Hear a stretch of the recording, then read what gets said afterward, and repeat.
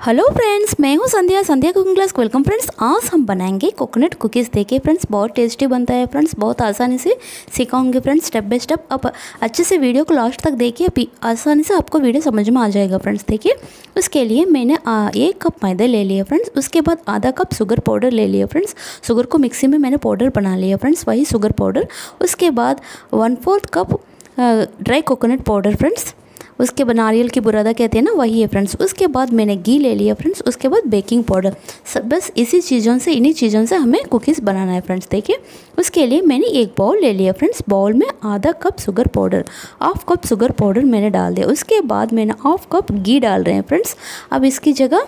अब डालडा भी यूज़ कर सकते हैं फ्रेंड्स नहीं बटर भी यूज़ कर सकते हैं फ्रेंड्स देखिए। उसके बाद मैंने घी डाल दिया। फ्रेंड्स घी डालने के बाद हैंड विस्कर से अच्छे से बीट करना है फ्रेंड्स अगर आपके पास बीटर है तो उसी से दो तीन मिनट में हो जाएगा फ्रेंड्स लेकिन इससे पाँच मिनट तो कम से कम लगेगा फ्रेंड्स देखिए। ऐसे क्रीमी स्ट्रक्चर में आने तक अच्छे से बीट करना है फ्रेंड्स देखिए। और एक बात है फ्रेंड्स घी हमेशा गर्मी के सीज़न में घी मेल्ट हो जाता है ना ऑयल की तरह होता है ना, इसके लिए आप घी को आधा घंटा फ्रिज में रख के घी हमेशा थिक कंसिस्टेंसी में होना चाहिए फ्रेंड्स घी यूज़ करते समय, देखिए। इसके लिए उसके प्लफी होने के बाद हमारा क्रीम रेडी हो गया, उसके बाद मैंने ये कप मैदा डाल दिया फ्रेंड्स मैदा डालने के बाद ये नारियल की बुरादा है ना one fourth cup coconut grated coconut powder उसके बाद वो डाल दिया one fourth cup coconut powder डालने के बाद मैंने baking powder of teaspoon baking powder डाल रहे हैं फ्रेंड्स डालने के बाद इन सभी चीज़ों को अच्छे से मिक्स करना फ्रेंड्स मिक्स करके अच्छे से पहले स्पैचुलर से मैंने मिक्स कर रहे हैं। मिक्स करने के बाद अच्छे से सॉफ्ट हाथ से अच्छे से एक डो की तरह बनाना है फ्रेंड्स इसको डो देखिए फ्रेंड्स अच्छे से मिक्स कर दिया मैंने। मिक्स करने के बाद अब हाथों से अच्छे से एक डो की फॉर्म में बनाना है फ्रेंड्स इसको गूंदना आटा की तरफ़ गूंदना नहीं है फ्रेंड्स सिर्फ़ एक डो पूरा इकट्ठा करना है फ्रेंड्स पूरा इकट्ठा करके एक डो की तरह बनाना है फ्रेंड्स देखिए हमारा डो रेडी हो गया फ्रेंड्स अब इसको एक स्पून की हेल्प से छोटे छोटे पोर्शन लेके हमें इसको बिस्किट की शेप देना है फ्रेंड्स। पहले देखिए फ्रेंड्स, मैं कैसे डाल रहे कैसे बना रहे हैं। पहले राउंड बना लिया, राउंड बनाने के बाद बिस्किट की शेप में अच्छे से एक राउंड फॉर्म में बना लिया। बनाने के बाद इसके ऊपर कोकोनट कोट कर रहे हैं फ्रेंड्स। एक प्लेट में मैंने ड्राई कोकोनट डाल दिया, उसको अच्छे से ऊपर कोट करके। ये बेकिंग ट्रे फ्रेंड्स, मैंने पहले से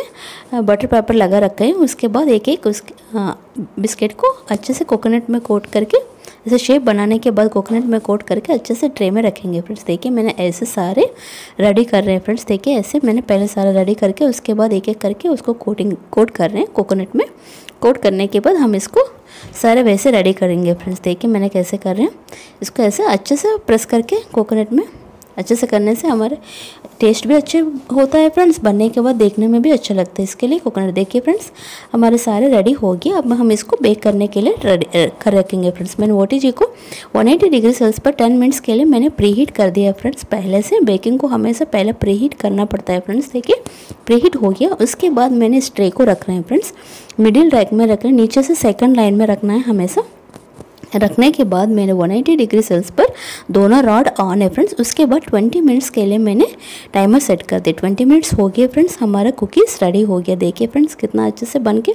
रेडी हो गया. देखने में भी कितना अच्छा लग रहा है ना फ्रेंड्स अब इसको ऐसे रहने दीजिए फ्रेंड्स ठंडा होने के बाद अब इसको देखिए फ्रेंड्स गरम में हमेशा कुकीज़ थोड़ा सॉफ्ट होता है फ्रेंड्स ठंडा होने के बाद तो क्रिस्पी बनता है फ्रेंड्स देखिए। हमारा कुकीज़ ठंडा हो गया, मैंने इसको एक प्लेट में सर्व करती हूँ फ्रेंड्स देखिए कितना अच्छे से बन के रेडी हो गया हमारे कुकीज़ बहुत आसानी से बन के रेडी हो गया फ्रेंड्स आप भी देखिए कितना सुंदर बनी। आप भी इस रेसिपी को ज़रूर ट्राई करना फ्रेंड्स देखिए, मैंने एक तोड़ के भी दिखाती हूँ, देखो कितना अच्छे से। अंदर देखिए कि इसका स्ट्रक्चर देखिए फ्रेंड्स कितना अच्छे से एकदम मार्केट स्टाइल में कुकीज़ दिख रहे हैं ना फ्रेंड्स आप भी इस रेसिपी को ज़रूर ट्राई करके मुझे कॉमेंट